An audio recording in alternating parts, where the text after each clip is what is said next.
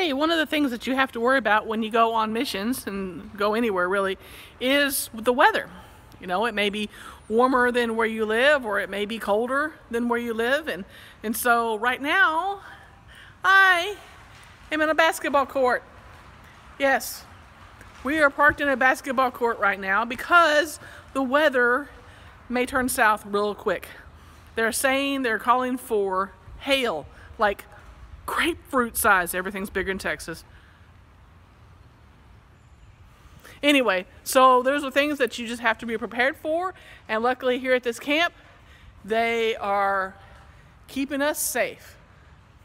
Now I just got to find out where to go in the hotel room, in the hotel building. Yeah, that's right. Keeping it safe on mission.